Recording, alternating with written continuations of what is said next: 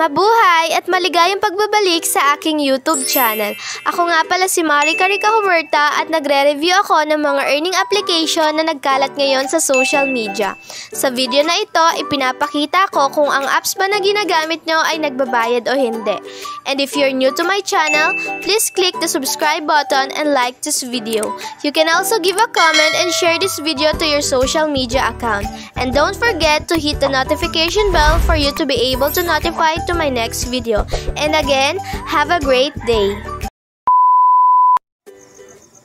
Hey guys! Welcome back again to my YouTube channel and nagbabalik na naman po ako for another reviews and for today ang i-review ko ngayon ay Royal Solitaire Fish. Available po siya sa Google Play Store para sa mga Android user. Meron na po siyang 4.5 star, 4,000 reviews and 50,000 download. So ito po yung kanyang logo and kung makikita nyo naman po magsusulitaryo lang po kayo dito. And nakita ko lang po ito sa Chinese advertiser and doon through Gcash yung uh, mode of payment kung saan tayo makakapag-cash out. And nakapublic naman po yung feedback kaya pwede nyo pong basahin yung mga feedback ng ibang user na gumamit itong application na to kung nabayaran po ba sila nitong game na to o hindi. So, click lang po natin yung game, pumunta na po tayo sa game and titingnan natin kung ano nga ba yung meron dito sa application na ito. So, andito na po tayo sa game na to and ang nakalagay dito, yung maximum bonus daw po ay nagkakahalaga ng 14,334 pesos po yung nakalagay dyan and meron po tayong time limit na 24 hours. Nang sabi dito, you will receive the collected, collected grab, grab pay bonus can get bonuses through video ads. So, ang sabi dito nga, um, makukuha nyo yung mga bonuses o yung mga pera by watching advertisement. So, napakadali lang naman po nito. Ayan. Ayan. And mamaya na po natin yung laro. And click natin to. Ayan. So, walang nakalagay dito kung saan tayo maaari makapag-cash out. Please enter your real account email user.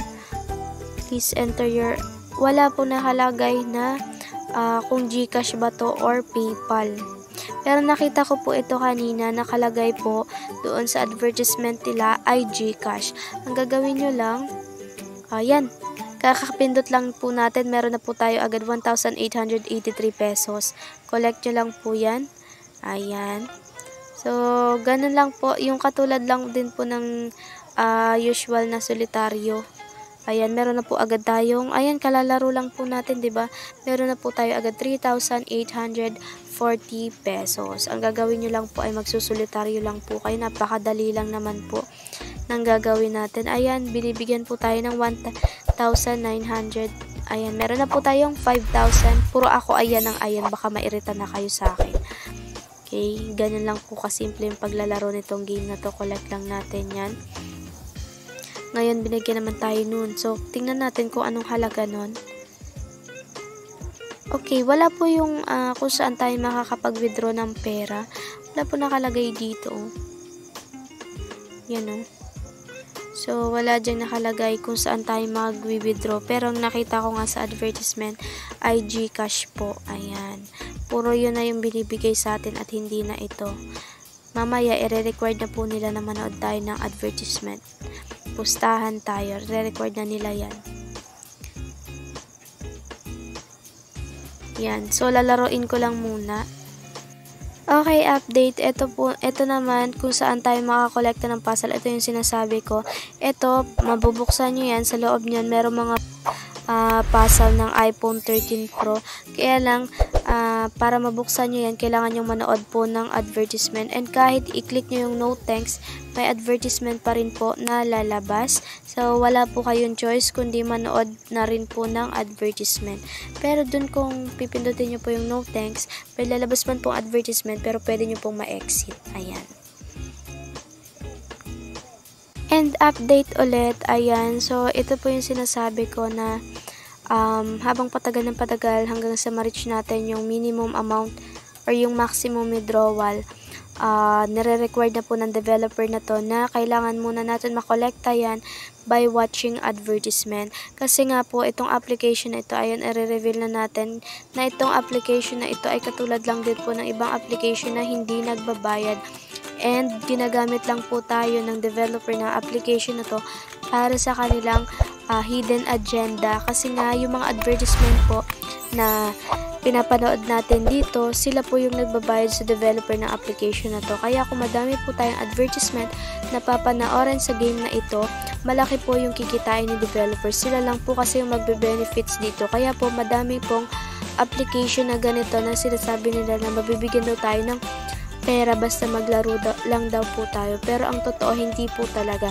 Kasi ginagamit lang po tayo ng developer na to para po uh, kumita sila ng pera kasi nga kaya nare-required po nila yung mga uh, na manood tayo ng advertisement kasi nga po malaki po yung kinikita nila sa mga advertisement na pinapanood natin. Kaya kung ako sa inyo guys, kung meron po kayong game na to and inaasahan nyo na mababayaran kayo, wag na wag nyo na po itong laruin.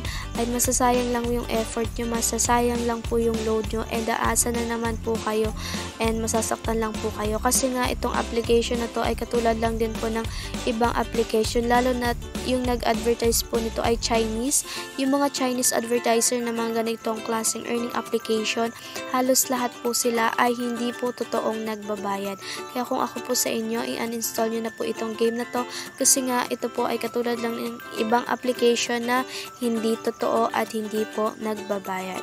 So, ayun guys, dito ko na tinatapos tong video na to and kung nagustuhan nyo tong video na to, huwag nyo kalimutan mag-subscribe, like this video, share, and hit the notification bell para ma-notify kayo sa susunod ko pa mga videos. So, ayun guys, thank you for watching.